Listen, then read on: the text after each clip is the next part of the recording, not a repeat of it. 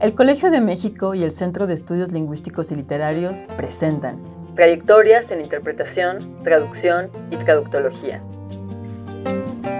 Bienvenidos, es un placer compartir con ustedes la serie Trayectorias en Interpretación, Traducción y Traductología, en la que estudiantes, egresados y profesores de la maestría en traducción del Colegio de México, así como otros especialistas en estudios de traducción e interpretación, presentan las trayectorias de aquellas personas que, desde distintos ámbitos y temporalidades, han contribuido al estudio o a la práctica de la traducción y la interpretación en México.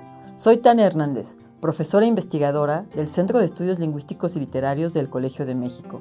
En la primera temporada escucharemos, en la voz de los estudiantes de la promoción 2022-2024 y de algunos de sus entrevistados, siete trayectorias muy diversas. Como podrán escucharlo en las emisiones, estas corresponden a traductoras, intelectuales, académicas, periodistas o escritoras, para quienes la traducción estuvo o está asociada a un proyecto de investigación, a la difusión de un proyecto ideológico, al reconocimiento de autores y literaturas, o a la legitimación y reconocimiento de otras lenguas, en este caso, las lenguas originarias mexicanas y sus hablantes. Gracias por acompañarnos.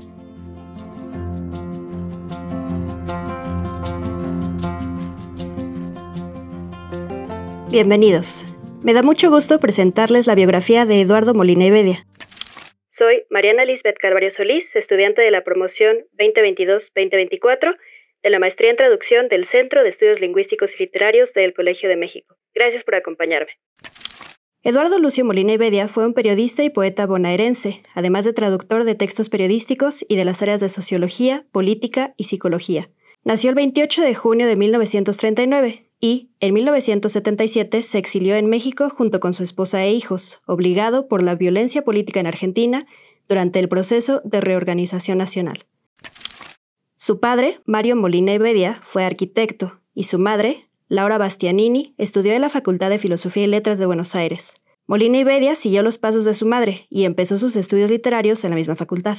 Su trayectoria profesional, precipitada por la llegada de su primer hijo y el matrimonio con la periodista y lingüista Eva Grosser Lerner, antes de terminar sus estudios universitarios, se vio marcada por la reapertura cultural de Argentina tras la caída del peronismo en 1955, así como por la subsecuente explosión del periodismo gráfico e internacional en Argentina.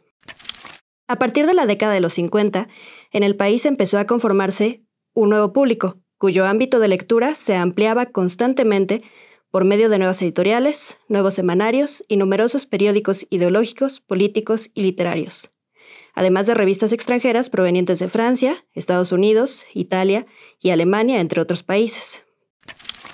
Este es el contexto en el que Molina y Bedia empezó su carrera periodística en 1958 como redactor para El Territorio, diario de la provincia del Chaco en la ciudad de Resistencia. Posteriormente, en 1960, se desempeñó como colaborador de Noticias Gráficas en Buenos Aires. En 1963, fue nombrado jefe de redacción de la sede de la agencia de noticias italiana ANSA para Hispanoamérica, ubicada en la capital argentina. Entre 1965 y 1970 fue corresponsal en Buenos Aires de la agencia periodística cubana Prensa Latina. En 1967 se convirtió en colaborador de La Razón de Buenos Aires y, a partir de 1968, fungió como redactor en el semanario Siete Días.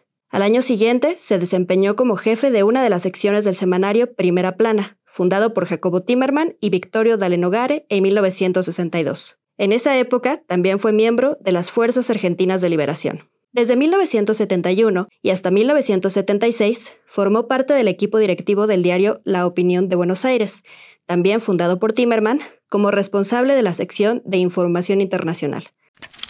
Hacia el final de este periodo, un 6 de abril de 1976, Molina y Bedia fue secuestrado por un grupo de hombres armados. Él fue uno entre los muchos periodistas, varios de ellos colegas redactores de la opinión, e intelectuales argentinos privados de su libertad tras el golpe de Estado del 24 de marzo de 1976 e instauración de la dictadura del proceso de reorganización nacional. Los ataques a las oficinas y miembros de la redacción, así como los repetidos secuestros de Molina y Bedia, que culminarían en su encarcelamiento, fueron consecuencia de los años de campañas periodísticas organizadas por Timerman contra el gobierno de López Rega. Al cabo de un año, Molina y Bedia recuperó su libertad y, tras una estancia de tres meses en Brasil, llegó a México junto con su familia el 26 de junio de 1977.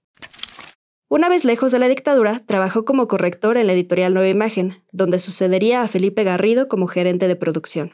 Entre sus responsabilidades estaban coordinar encargos de traducción y corrección de estilo, la comunicación esporádica con algunos autores y la relación con imprentas. También fue director de la revista Pasaporte 2000, publicada por la editorial Geografía Universal, y corresponsal en México para la agencia internacional de noticias Interpress Service, para la cual a veces traducía artículos del italiano. Durante la década de 1980 se desempeñó como traductor y editor en jefe para Le Monde Diplomatique en español, que llegó a la Ciudad de México en 1979 y sería distribuido en España, Latinoamérica y Estados Unidos.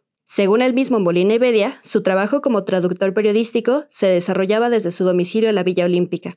Tenía Le Monde Diplomatique, papel y máquina de escribir Olivetti. Esa era la infraestructura de Le Monde Diplomatique. Fuera del ámbito periodístico, desarrolló su faceta como traductor en las editoriales Siglo XXI y Trillas, gracias al contacto de colegas argentinos como Jorge el Negro Tula y Felipe Garrido. A la par de su trabajo como traductor, continuó su desempeño como periodista con artículos y columnas para El Día, Uno más Uno, Excelsior, La Jornada, Primera Plana y Topodrilo, entre otras publicaciones. Sus lenguas de trabajo eran el italiano, el portugués, que estudió en el Instituto Brasileño Argentino, y, principalmente, el francés, al que estuvo expuesto desde la secundaria. Para siglo XXI tradujo libros de las áreas de lingüística y teoría literaria, sociología, filosofía y psicología de autores como Roland Barthes, Alain Badiou y François Rastier.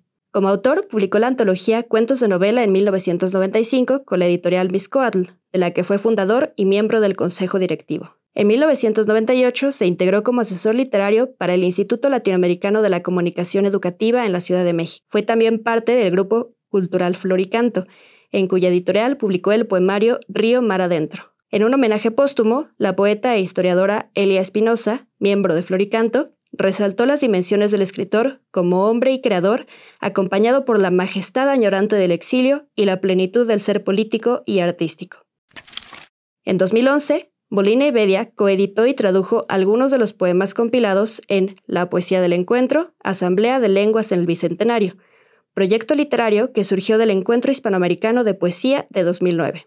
Se desempeñó como jurado del Premio Alfonso X de Traducción Literaria en 1983 y del Premio Interamericano de Poesía Navachiste en 2003. En el marco de la Feria de las Culturas Amigas de la Ciudad de México en 2009, dictó la conferencia Los ámbitos trashumantes de Raúl González Tuñón e hizo lectura de los cuentos y poemas de sus dos libros. Eduardo Molina Bedia falleció en Buenos Aires, donde presentaba una reedición de su poemario el 18 de septiembre de 2012. Esto fue una producción de la Coordinación de Educación Digital del Colegio de México.